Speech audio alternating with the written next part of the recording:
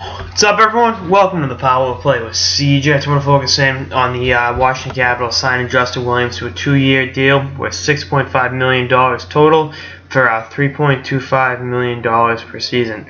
This is an absolutely amazing deal for the Capitals.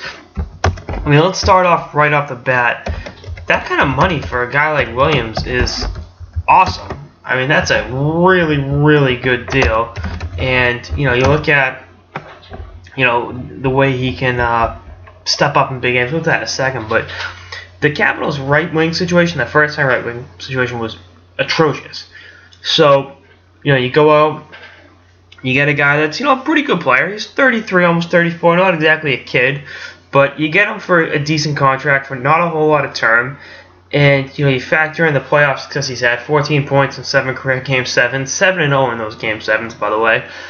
And it's like wow, this is one of MacLellan's best. Like, you look at last year, he's way he overpaid for Niskanen and drastically overpaid for Brooks Orpik, who you know is just I think been beaten twice uh, to the outside, and he, he's just sitting in his living room. He's, he's not even on the NHL rank um, in the last 20 minutes. But you know, you look at the way Williams fits in with that team. It's like, are you shitting me?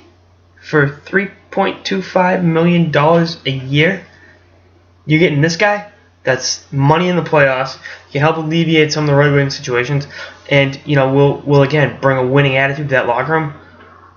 Uh, that's brilliant. Now, why didn't LA re-sign him at that that amount of money? I don't know, but you know I know he'll go to Washington and uh, really bring a, a, winning attitude and you know be what helps uh, Washington maybe get over the hump this year. I mean, again, I know he's older, but he should fit in with that uh, nucleus pretty well. He knows what it takes to be a winner, and uh, you know he's really done some uh, some amazing things. Uh, he's continued to do well with the uh, with the Caps, so.